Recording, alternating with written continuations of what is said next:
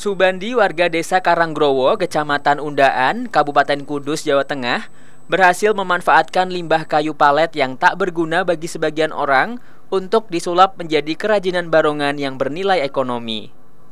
Proses pembuatan barongan diawali dengan menggambar pola di atas kayu palet, selanjutnya kayu dipotong mengikuti garis pola. Setelah potongan rangka terbentuk, kemudian dirangkai hingga membentuk kepala barongan. Kepala barongan yang sudah terbentuk kemudian dirapikan dengan tatah dan dihaluskan dengan amplas.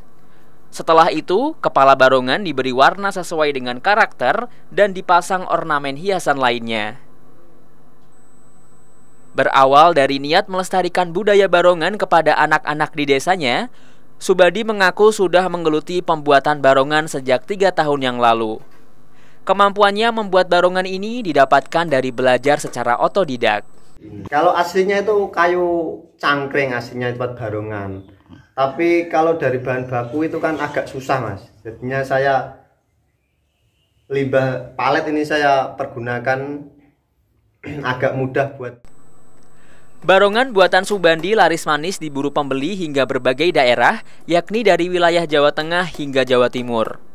Untuk harga jualnya, dijual mulai harga 30.000 hingga jutaan rupiah tergantung besar kecil ukuran barongan yang dibuat. Ikhwan Miftahudin, Kompas TV, Kudus, Jawa Tengah.